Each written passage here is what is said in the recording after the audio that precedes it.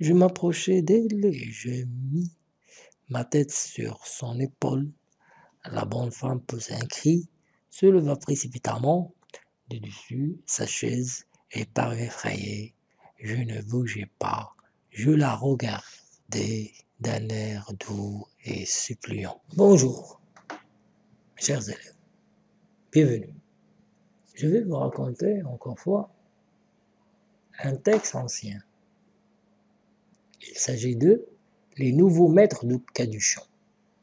Caduchon, c'est l'âne que vous voyez ici sur l'image.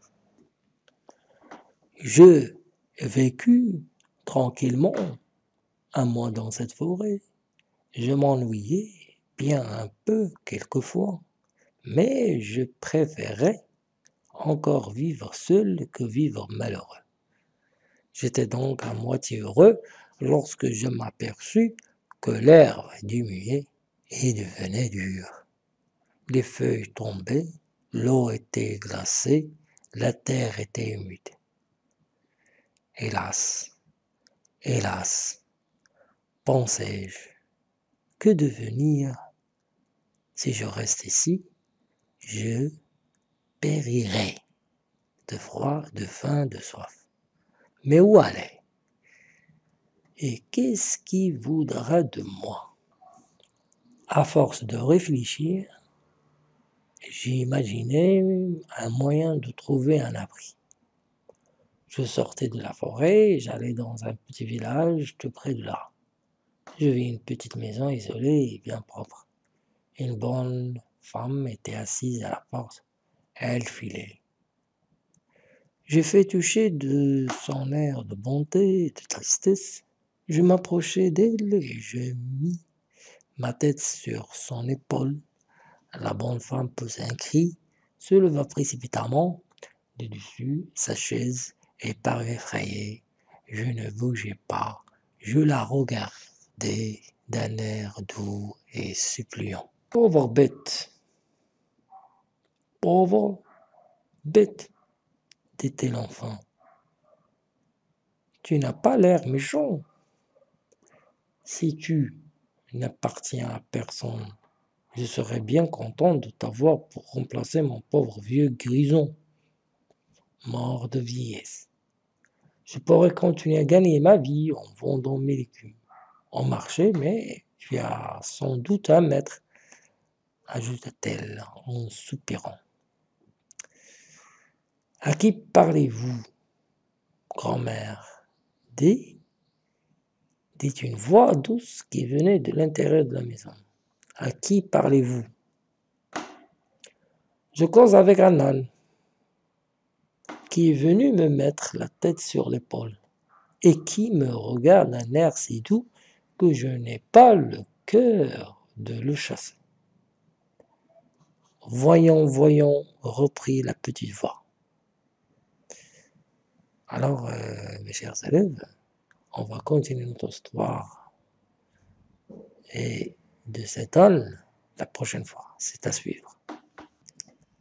Alors, on continue notre activité de lecture avec maintenant la compréhension, avec des exercices, les mots difficiles. Comme tranquillement, il faut chercher dans un dictionnaire si vous voulez bien. Les mots difficiles, tranquillement, je m'ennuyais, c'est le verbe s'ennuyer. Quelquefois, tristesse, précipitamment, c'est un adverbe. Euh, il paraît effrayé, le mot effrayé. Suppliant, suppliant, qui vient du verbe supplier. Euh, tu appartiens, du verbe appartenir, vieillesse. C'est un nom féminin. Il faut chercher dans un dictionnaire. Les mots expliqués, par exemple, je périrai, c'est le verbe périr, euh, le synonyme de mourir, je mourrai. Précipitamment veut dire très vite. Suppliant, qui veut faire naître la pitié, qui veut faire naître la pitié, suppliant. Je n'ai pas le cœur, c'est-à-dire je n'ai pas le courage. Je n'ai pas le cœur veut dire je n'ai pas le courage. Alors je répète encore fois, les mots expliqués, je périrai, ça veut dire je mourrai précipitamment, très vite, suppliant qui veut faire naître la pitié, je n'ai pas le cœur, veut dire tout simplement je n'ai pas le courage. Bon, euh, on passe maintenant à la partie d'exercice. Euh, phrase à reproduire de mémoire. Il faut mémoriser cette phrase, cette fois. Restez euh, concentré. Si je reste ici, si je reste ici, il faut apprendre de cette façon, hein, en fermant les yeux et écoutez la phrase et répétez dans votre mémoire. Si je reste, répétez dans vos mémoires, s'il vous plaît. Si je reste ici, je périrai de froid, de faim et de soif. Si je reste ici, je périrai de froid, de faim et de soif. Si je reste ici, je périrai de froid, de faim et de soif. Copier, compléter. Numéro 1. Mhm. Je que l'herbe. Bien sûr, il manque ici des mots. Il faut chercher dans le texte. Je que l'herbe. Je de la forêt. Je vis une petite maison. Je m'approchais de la bonne femme si je mis ma sur son et numéro 3, et il me dit, tu n'as pas l'air, si tu n'as personne, je te garderai. Alors il y a trois propositions. La première, je me que l'herbe. Numéro 2, je de la forêt, je vis une petite maison. Je m'approchais de la bonne femme et j'ai mis ma sur son. Numéro 3, elle me dit, tu n'as pas l'air si tu n'as personne, je te garderai. Alors, numéro 1, 2 et 3. Répondez aux questions. Numéro 1, comment était l'eau? Comment était l'eau? Comment était la terre? Numéro 2, où alla Caduchon? L'âne Où alla-t-il que faisait la bonne femme? De quel air Caduchon la regarda-t-il?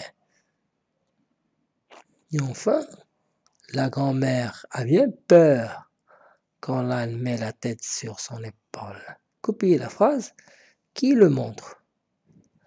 Bien sûr, d'après le livre, d'après le texte.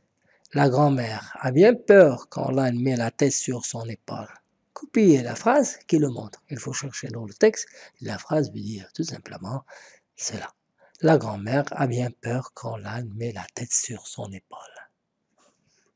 Alors, je viens vous proposer des activités de lecture. Il s'agit de quatre activités. Bien sûr, euh, la première, il faut chercher les mots difficiles surtout dans un dictionnaire. Je vous rappelle les mots difficiles tranquillement. Je m'ennuyais, c'est le verbe s'ennuyer. Quelquefois, tristesse précipitamment veut dire précipiter. Euh, on a déjà expliqué précipitamment ici. Elle paraît effrayée, suppliant aussi. On a déjà expliqué. Tu appartiens et vieillesse. Il faut chercher les autres mots. Et voilà. À la prochaine.